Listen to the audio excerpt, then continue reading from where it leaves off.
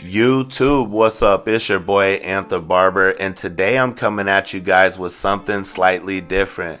But before we get started, I just want to say that I hope this finds you in good health and spirits. So I went to my local Walmart and I purchased a Wahl clipper trimmer combo for $34.99 in hopes that I could do a haircut tutorial that might help you the viewer who's either one cutting their own hair or two cutting someone's hair that they love. Again, I'm going to ensure that I only use everything that was included. That way it's easier for you the viewer to follow along. So stay tuned, stay focused, be blessed, and be a blessing. Let's go.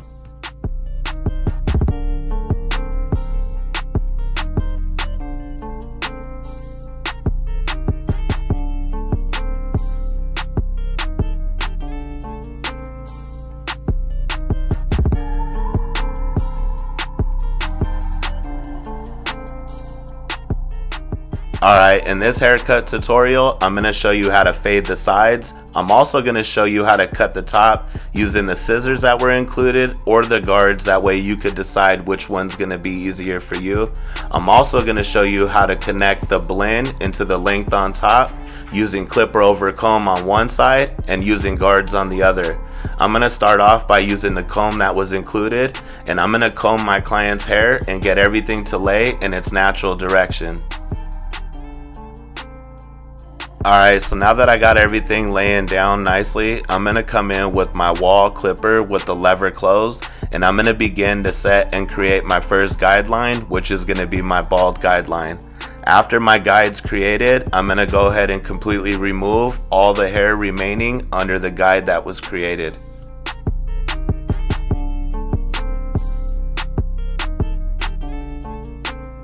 As I get towards the back of my client's head, I am giving it somewhat of a drop, and that's because I want to complement my client's head shape. So when setting in this guideline, you want to take that into consideration.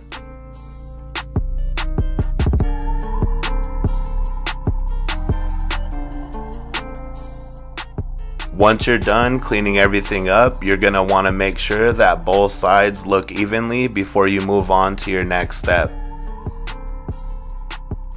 Alright, so now that my bald guideline and shape was created, I'm going to come in with my number one guard on my clipper with the lever fully open and I'm going to begin to set and create my next guideline.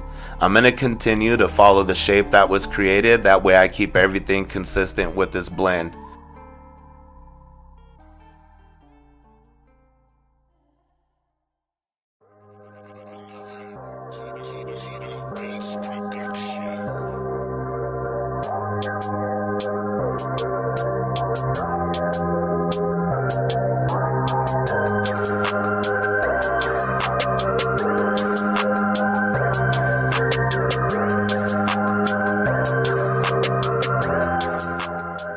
Alright, so now that my guide was created with the lever open, I'm now going to close my lever and begin to blend from the bottom of this guide right back up towards the top of it.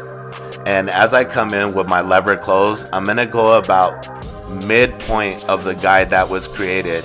And I am going to notice that some weight's left behind on the original guide at the bottom and it's not going to be removed by that one close. But that's okay because I'm going to show you how to remove that in the next step. Once I get to about midpoint of this guide created with the lever closed, I'm then to extend my lever to about midpoint and I'm to continue to blend out the rest of the weight that I see.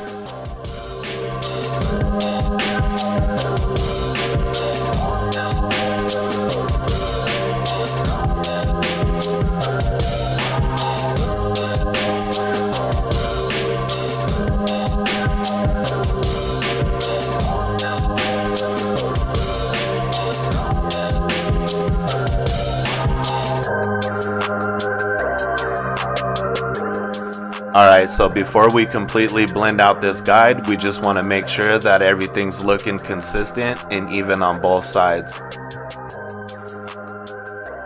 Alright, so now it's time to remove the weight that I'm showing you that that one clothes left behind. So I'm going to come in with the half guard with the lever fully open and I'm going to begin to attack right above the weight that I see. Again, that's right above the weight that I see. And then I'm going to use the fade down process, meaning I'm going to close my lever as needed, working my way down until that guide's completely blended out. If for some reason you don't have this half guard, then what you're going to want to do is you're going to want to fully extend your lever and begin to attack the weight that you see only using the corner of your blade. Again, only using the corner of your blade.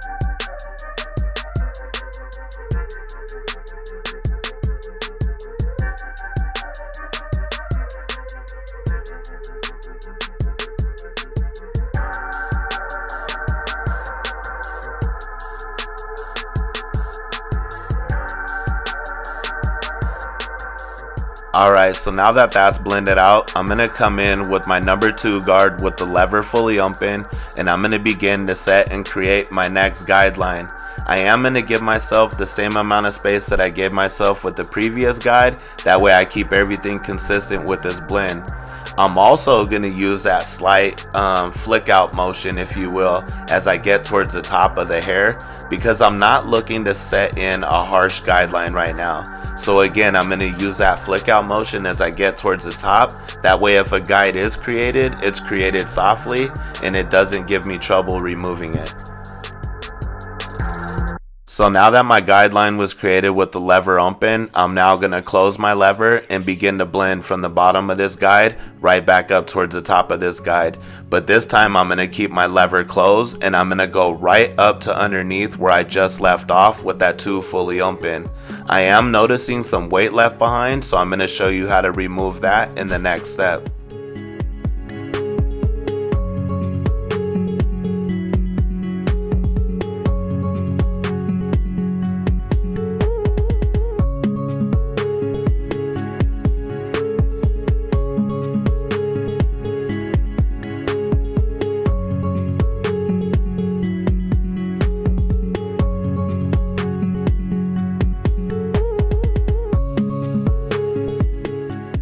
Now that I cleaned everything up with my number two, right where I showed you I'm still noticing weight. So I'm to come in with my number one guard with the lever fully open and I'm to begin to attack this weight that I see. And you're to see that I use a lot of the corner of my blade and I'm to again apply that fade down technique, meaning I'm to come in with my lever fully open. I'm to begin to attack the weight that I see and I'm to close my lever as needed, working my way down until that guide's completely blended out.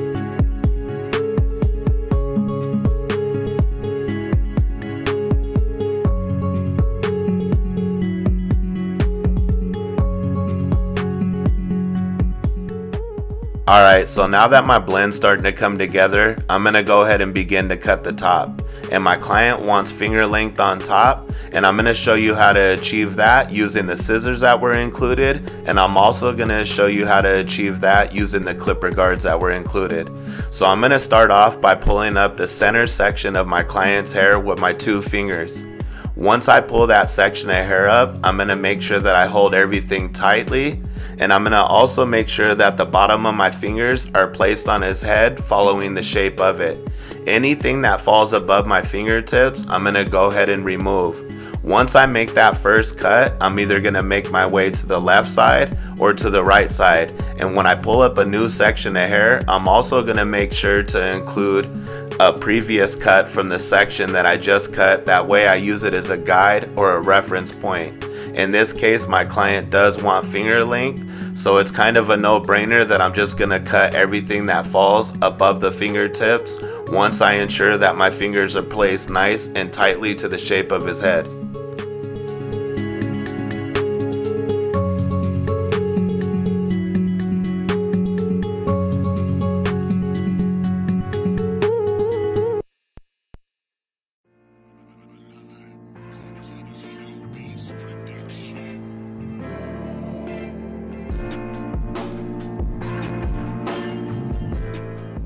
Alright, so again, if you're not comfortable using the scissors that were included, finger length for me happens to be a number 6 guard. And so I would suggest that you start off with a higher guard and work your way down in guards until you find the length that's comfortable for your client. So in this case, again, he wants finger length. So I'm going to come in with the number six guard with the lever closed and I'm going to begin to knock down and cut everything evenly on top.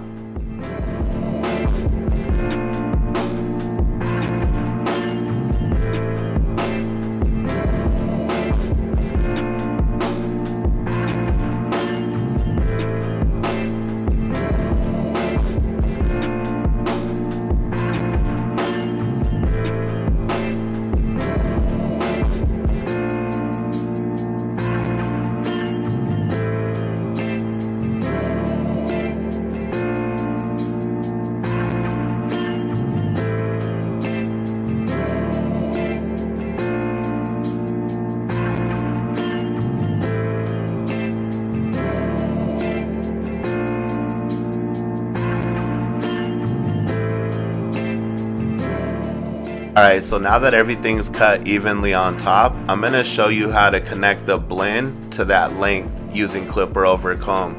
So I'm going to come in with my clipper with the lever fully open. The reason why I choose to come in with the lever open is it's a lot more forgiving when you use the lever open opposed to coming in with that lever closed. When you use the lever closed, you're going to get a really nice cut but it's going to be very blunt and you might create some type of a guide or a look that you may struggle removing. So I would suggest you come in with the lever open or even placing a number one guard on the clipper just as a safety until you get comfortable performing this. So when you're doing clipper over comb, the main thing to remember that's really important is the way you decide to angle your comb because however you decide to angle that comb is going to be the shape and the look that you're creating for your client. So in this case, I want to maintain a nice, clean, somewhat of a boxy shape for my client. So when it comes to angling his comb, I'm going to place the comb on his scalp and then I'm going to angle it to about a 45 to a 90 degree angle. And I'm going to cut anything that falls in the teeth of that comb. And that's going to allow that blend to connect to that length on top. Alright, so for those of you not comfortable with clipper over comb, no need to fear, clipper guards are here. I'm now going to show you how to connect that blend to that length on top using guards. So I originally knocked everything down to a number 6 closed. So I'm going to come in with the number 4 guard with my lever fully open and I'm going to begin to debulk and knock down this weight that I see. I'm to use that fade down process meaning I'll close my lever as needed working my way down. One thing I do want to mention is it's really important that you do not take this clipper guard through the roundabout of your client's head, meaning you don't want to take this number four following the shape of your client's head into that length on top. As you get towards the top, what you're gonna wanna do is you're gonna wanna allow that guard to come off the head. So if you look at your client and imagine he had a crown on his head, right when you get towards that crown, you want that clipper guard to start pulling off. You do not wanna follow the roundabout shape to his head. So I'm gonna clean everything up with my guard open and then I'll close it, working my way down as needed. And I know that number four guard is not gonna blend into that number two guard. That's why I just threw on my number three guard and I'm gonna come in with that lever fully open, continuing where I just left off with that number four closed. And I'm gonna continue to fade down, closing my lever as needed until this guide's completely blended out. I originally faded up to a number two open, so this number three closed is gonna blend right into that. Alright, so now that everything's coming together with this haircut, I'm gonna go ahead and do some cleanup work and kind of finalize everything. I am using that little trimmer that was included to knock everything down here. I don't feel like I need to walk you guys through anything right here. It's kind of self-explanatory. So I'm just going to let you ride out to that beat. And speaking of beats, I want to say shout out to my boy at Tito Beats for this fire that you hear in your ear. I'm going to drop his link in the description. Make sure you go check my man's out. I also want to say again that I hope this reaches everybody in good health and spirits. And I know things are crazy right now, but you guys need to just keep the positivity and keep faith that we will overcome everything. And um, yeah, enjoy this beach, y'all. I appreciate you.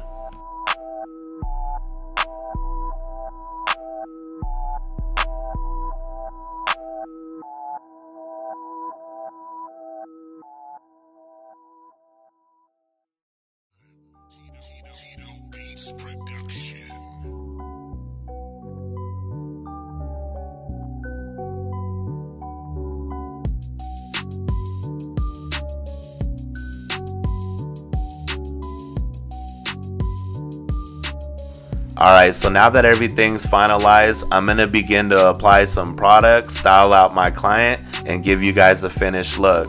So here it is. If you got anything useful out this, I ask that you smash that like button. If you're new to my channel, I suggest you stick around. It's only going to get doper from here. I appreciate y'all. Be blessed and be a blessing. I'm out.